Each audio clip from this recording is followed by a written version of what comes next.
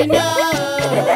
I've got something in my lunchbox. It's lunchtime now, let's go. I've got tortillas with some rice and beans, salsa and some leafy greens. Tortillas